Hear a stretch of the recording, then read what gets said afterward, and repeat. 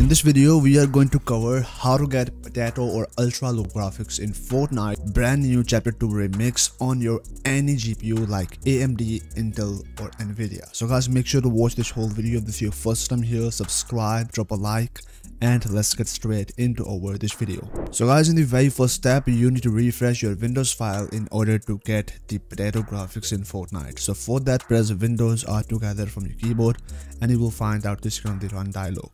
Now simply type here percentage temp percentage sign again and hit enter. This will take you inside this directory here. You will find out all these junk files. So guys, press Ctrl A from your keyboard for selecting all these files. Now hit delete and delete all the files from this folder. So click on this continue button and this will delete all these junk data files from here. Just simply now skip these files. So click on this cancel button and guys leave these remaining files. So guys now in the next step you need to download this Fortnite Potato Graphics Chapter 2 Remix pack on your PC and you can find out the link in the description. Simply open up the link that will take you onto my this website. Once you are here you need to go for the search bar and search with the title of my YouTube video and you will find out the same exact article and simply download this pack from there. So once you download now simply open up this file and inside you will find out NVIDIA profile for the NVIDIA users, ultra low graphics for Intel and AMD users and at the end gear up booster that will also help you to getting the lower delay and the lower ping in Fortnite or any other game. So guys now simply drag all these files on your desktop. So once you got here these files so in the very first step go for NVIDIA profile inspector folder and here you will find out your Fortnite Potato settings. This is the pre-setup settings for your NVIDIA profile. Simply go back, go for NVIDIA profile inspector, double tap here and open up the NVIDIA profile inspector on your PC. Now you need to go for this profile section and search for FORT and select the Fortnite from the profile. Now you need to go for this import user defined profile option. Go for it and click onto the import profiles. Now you need to go for your NVIDIA profile inspector folder and open up Fortnite Potato settings where we have the pre-setup settings for the NVIDIA profile. So click here and click on the open button and profile successfully imported. Now hit OK.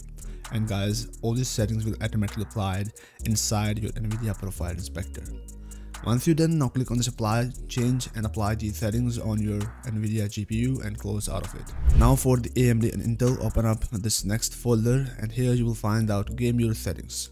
I have already done all the settings for you which will help you to getting the ultra low graphics. So guys simply right click here and copy this file from here press windows r together from your keyboard and type here percentage local app data percentage and hit enter. Now go for fortnite game saved config windows client. Right click and paste and replace the file destination. Once you replace here these files now simply close out of this directory so guys once you are here inside the fortnite so here you can check out here we already got here the potato graphics and you can check out here our skin.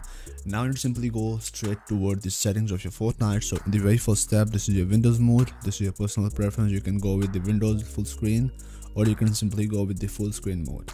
But I love to play onto the windowed full screen. After that now next day we got our frame rate. So guys set it onto the unlimited or your preferred FPS but I've always play with the unlimited FPS. The next here is the rendering mode. If you have a low end PC so I suggest you to go with the performance mode. But if you are getting the ground glitches so guys I suggest you to go with the DirectX 12.